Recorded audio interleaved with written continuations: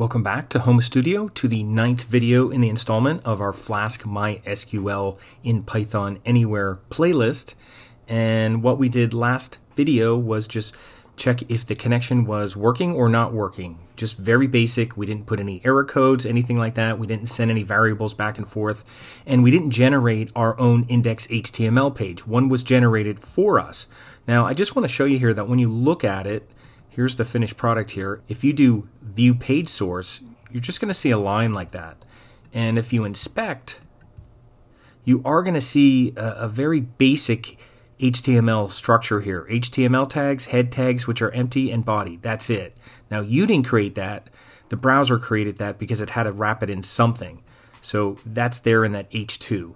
Now, I just want to point out, if I close this up, that if you go here and put slash index.html, it doesn't exist. So it didn't create an index.html page. It's just creating a page in the default directory, temporary dynamic page to look at. So we're going to create an index page so that we have one. And that way we could put our HTML and do all kinds of things in it and even use CSS, whatever we want. So we're going to do that first, and this will just, again, be an intermediate step before we start creating our HTML and our table and all that. So we're going to go back here. Let me just refresh this just so it's back working again. There we go. There's our successfully connected. So what we're going to do here is go back to our code and we're going to do something called render template. So I'm going to put this in here, render template. Now that's what Flask needs to actually render HTML pages. So that's a function here. So we're importing that and that's part of Flask, not part of Python. So we're putting it up here with a comma.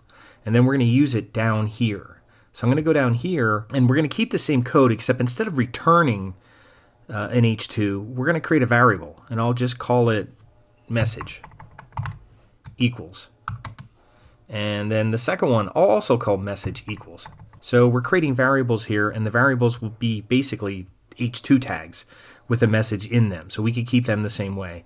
And then what we're going to do with this function is actually return it, the whole function. We're going to return a value from the function. So this will go back out, whether it's if or whether it's else. And we're just going to put return. And then we're going to return the render template function. Render underscore template. That tells Flask that we're going to actually generate our own index.html page. So we're going to put in quotes index.html and it's going to serve as an argument. And then the second argument, we're going to put message equals message. And basically what that'll allow us to do is send a variable to the HTML page that we can display within it. And this message equals message is basically taking a new variable called message that we're going to send along. Now this could be anything. This could be, you know, new message if we want to, but typically they're the same. So I'm just going to leave it as message. But this is the new one that you're sending and it's taking this information. So whatever this is, the, the H2 up here where it's successfully connected or the one that says not connected. That's what it's going to take along. It's going to hold that value and send that along and we're going to be able to use that in double curly braces inside our page. So we're going to go and do that next. We're going to create an HTML file. So we're not going to do anything here. We could save this, and I'm not sure if we'll get any kind of error yet because we may not have something set up. But I think we're okay. So we're set up here. Now I'm going to leave this open. I'm going to go back to Files and open up Files in a new tab. So we have a bunch of different tabs open. We have our web app, we have our finished front end page, and now we're back into files again, and I'm going to go into Flask, and I'm going to create a new folder. So that's the directory here, and it's called templates, and it has to be called templates. And I'll just hit new directory. And that's where our index.html is going to have to go. So there's nothing in there. We could create an index.html file, and we'll put it inside of templates, and I'll just hit new file or you could upload one that you have. Now, there's nothing in here, and it's really not a lot of fun typing HTML in here.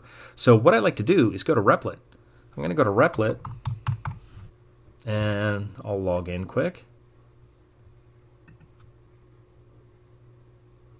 And I'm logged in as Homa Studio, and I'll create a repl. make sure it's an HTML, CSS, JS. And I don't need any kind of name right now, so I'll just let it alone. I'll make it just generic for now. And then I could delete it later. And what that'll do is give us kind of a skeleton of HTML here. And, you know, even if this wasn't here, you can use Emmet to generate something. So even if this wasn't here, you could do exclamation point, hit tab, and have the same thing. So, and this one doesn't put that script in there. So I'm just going to use this right now. And actually, before I do that, I'll go here and make an H1. So I'll do H1 tab and I'll put database connection status. Now this is just the status. We're not putting our information on the page yet. And then what we could do down here is just make an H2 and I'll hit tab. So I'll make an empty H2 and let me copy this right now. I'll copy what I have. I'll copy that and then I'll go back to my index page and I'll paste it. Now inside this H2, what I'm going to put is now I know we have the H2 tag, so we're going to change that. So we have the H2s here. Let's just get rid of the H2s and put the H2s where they belong on the actual page. Same thing down here. So we'll just put the string without the tags. So those will be the strings in here, but then we'll put successfully connected and not connected inside the H2s. Now we can just use the variable because we're sending this variable along message. So if we go here, we could put something called message. Now, the way they do this is with two curly braces. So it'll just display the message in there after the H1. So that should send it along, and that's all you have to do. You don't have to put anything in here that says use the template. Flask will know that if it's in the templates folder that that's the one it's going to use, and as long as you import the render template function, you're fine. So this should put that in here, and we should have a regular kind of page here. You could even change the title. We'll just put SB database for now, since that's what we're going to be working on. We're just going to put SB database for now, since that's what we're going to be working on. So we're now creating our own index.html page, and I'll hit save. And over here, we did make some changes, so we'll have to save. So this function is going to be looking inside the templates folder to generate this page, and it's going to use that variable, and we have that, so we should be fine. So let's see what happens here. I'm going to save this,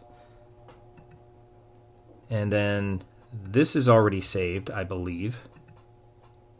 And I'll go to my web app, I'll reload that, and then finally I'll go here and refresh and it has database connection status and it's not putting anything on the page. So let's go see why it's not putting any, anything on the page. So there's our message in the, oh, I spelled message wrong. All right, message. Let's see if we could just update that by refreshing.